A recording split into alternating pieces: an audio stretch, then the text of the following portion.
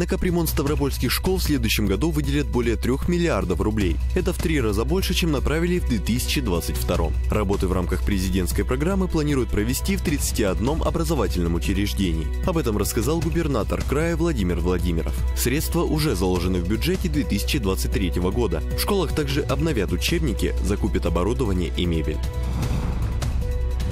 Кисловодске на улице Замковой завершается строительство школы на тысячу мест, сообщили в региональном Минстрое. Сейчас специалисты благоустраивают прилегающую территорию, а также устанавливают мебель и оборудование. Работы проходят в рамках нацпроекта образования и краевой госпрограммы развития образования.